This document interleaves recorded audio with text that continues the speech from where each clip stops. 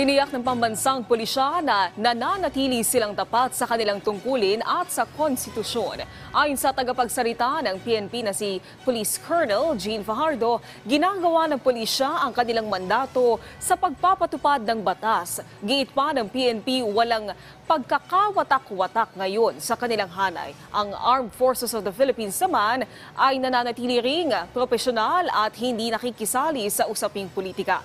Hindi rin umano kailangan ng loyalty check sa kanilang hanay habang nakatutok sila sa pagganap sa kanilang tungkulin.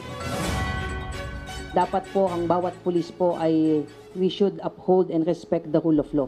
And when we when we speak of rule of law, that is part of parcel of protecting the constitution po. Ang Armed Forces po, uh, nagbitiw naman po ang ating Chief of Staff ng kanyang ah, statement that we remain united, we remain professional, and we are non-partisan.